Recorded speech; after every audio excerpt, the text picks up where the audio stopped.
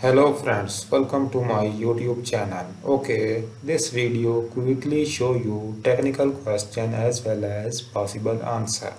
Hope you enjoy this video. If you have any question, simply ask me in comment section. Please subscribe my channel. I really appreciate you and let's move to the question. So friend, question is what do the upstream and downstream USB ports on a monitor do.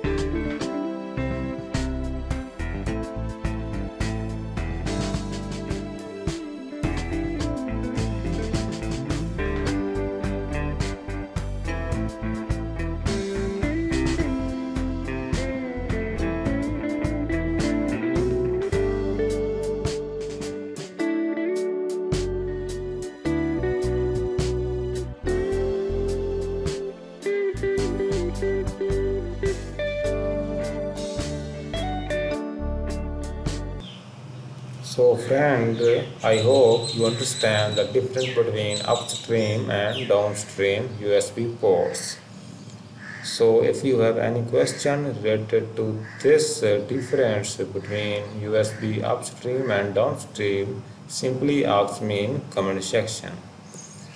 Friend, if this video is helpful for you, please like this video and don't forget to subscribe my YouTube channel Thank you very much. See you soon in the next video.